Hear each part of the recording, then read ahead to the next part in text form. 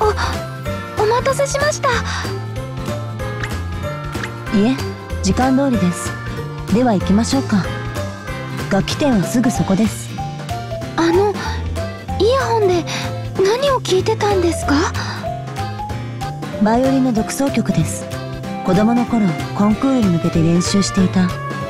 あまり聞かないようにしていましたが久しぶりに聞いてみようかと。そうですかあのもしよかったら私も聞いてみていいですか？別に構いません。こちらイヤホンです。どうぞ。はい。ありがとうございます